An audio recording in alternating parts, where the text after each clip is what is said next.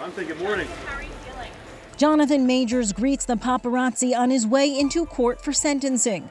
The judge sentenced the actor to one year of domestic violence counseling. Majors was found guilty of harassing and assaulting his ex girlfriend, Grace Jabbari, in New York City. As part of the sentence, the judge granted a full protective order for his ex. If Majors violates that, he could face a year in prison. He was caught on camera shoving Jabbari inside an SUV after an argument back in 2023. The jury in the case was presented with this jaw dropping surveillance tape that prosecutors said chronicled what happened during the night of the altercation.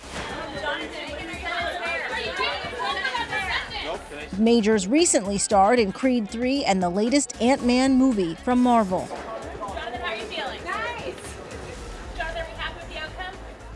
This is Inside Edition Digital.